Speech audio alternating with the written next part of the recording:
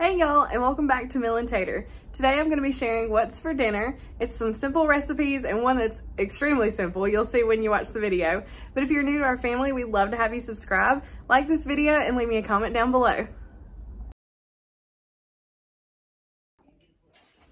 So tonight I'm going to be making a black bean chili and this is actually the first time I've ever done this one. But Tater actually saw when we were on vacation a black bean chili seasoning and I was like, oh, I can probably make that at home without buying that. So we're going to use seasoned black beans, one can of tomato sauce, one can of petite diced tomatoes. The no salt added was just the only thing we could find, which is fine. One pack of seasoning for chili, and one pound of cooked ground beef. And this I actually already had cooked. We had just some extra, so I went ahead and cooked it and froze it, and Tater thawed it out for me today. We're going to throw everything in the crock pot. I'll probably do high on two to three hours since everything just really kind of needs to melt together and warm up.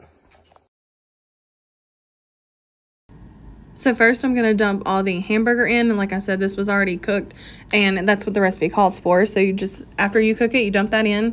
Then we're going to put the can of diced tomatoes and you can use petite or regular. We just prefer petite. Then I'm going to pour in the black beans and I know people are crazy about rinsing black beans. However, these are seasoned and I heard people say they don't rinse those. Then we're to add the tomato sauce and then the chili seasoning and mix that all up and we're to let that warm just for, like I said, a couple hours because everything just kind of needed to combine together and heat together.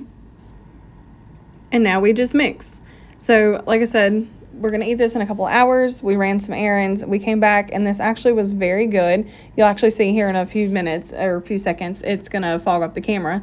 But it was really good. I do recommend actually adding an, a can of corn. I'd actually texted Taylor the next day when I had reheated it and I said, this needs some corn in it. It would be really good. So I think we're going to do that next time. And like I said, this is the first time we've made it. So it did turn out pretty good though. I would recommend it.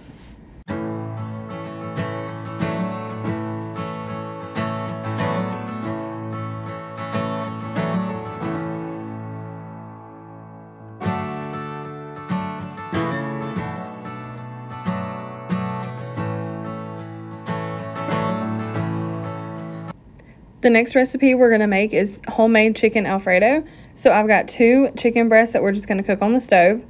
And it actually called for one and a half cup of Parmesan. I'd only do one. The heavy whipping cream, the garlic, butter. Don't come at me for the butter. I already know people. And the pasta. So first what you're going to do is we went ahead and started the water and get that boiling for the pasta. And then Tater went ahead and seasoned the chicken. And I will say too that one of my favorite things to add to this is broccoli, and I just completely forgot even though we had some to do it this night, but it is good with this recipe as well.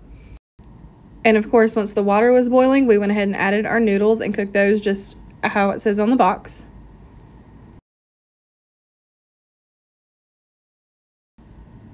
So next, I started working on the Alfredo sauce, and you're going to start with 8 tablespoons or 1 stick of butter. And once you get that all melted down, you're going to add the three cloves of garlic. You're going to let that mix for two minutes. Then you're going to add your one and a half cup of heavy whipping cream. Whisk that for about eight minutes until it's thick. Then add the, it says one and a half cups of Parmesan. I actually only did about one and a quarter in this video. However, I would say just do about one if you don't like it very Parmesan-y because it was very cheesy. And you're also going to add half a teaspoon of pepper. I think I forgot to record that part. And then just whisk it. And you want to make sure that cheese doesn't start clumping up or anything. And I will have all of this in the description box of what I use, the recipes and all. So I'm just going to go ahead and let the music play over this and let you guys watch what we did.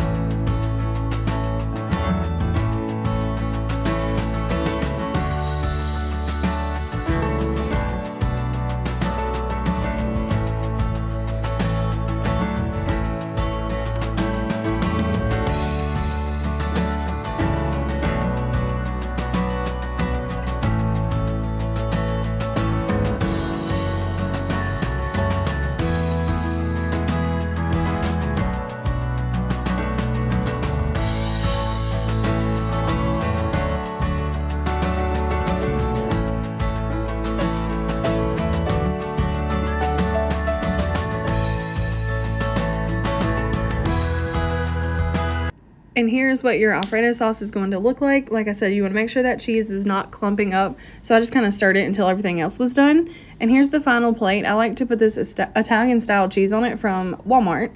And it makes the plate delicious. And it was really good. So here's the really easy meal I was telling you guys about in the intro. It's the pepperoni pizza party night. And it has one pizza, nine wings. We actually got 10 and four cookies. And it was actually really good just to be a frozen meal.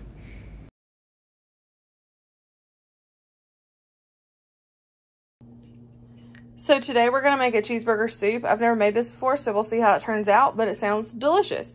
So what you're going to need is one can of diced tomatoes. We like to use the petite. It actually calls for two pounds of ground beef. We're going to use one. I'm going to kind of, sort of half the recipe. We'll see how it goes. One cup, or I'm sorry, half a cup of steak sauce. We didn't have any, so I had to make some. I've never done it before, but I will leave the recipe down below for that as well. And later you're going to need, it's, I think also for the Full recipe is 16 ounce, but again, I'm going to try to half it. I have a little more than half of that, so we're going to do that, but that'll go in later. And then you're going to need your crock pot. I've already got ours set on low, and I'm going to let it cook for the day. So I've already got the hamburger in here. Then I'm going to dump in the petite diced tomatoes. And then I'm going to attempt to put the steak sauce in here. Like I said, this is us just throwing something together because we didn't have any steak sauce and we'll see how that goes. And then I'm just gonna mix everything together. And the recipe also calls for four cups of onions, I believe. Like I said, I'll have that link down below as well. So, we're not big fans of onions, so I'm gonna leave that out. And since this is gonna be cooking all day, I think I'm gonna add a little bit of beef broth in here, just so it doesn't burn or anything, because nobody will be home when I'm cooking this. So I did go ahead and add just a little bit of beef broth. I probably could have done a little less this time. And it actually didn't really change it a whole lot, so it was still good. So now what we're going to do, after this has been cooking all day, we're going to add in the cheese. This is the Walmart brand of the Velveeta, as you saw earlier. And just let that sit in there for a little bit on warm. And just keep stirring it every so often to make sure that cheese is really breaking up.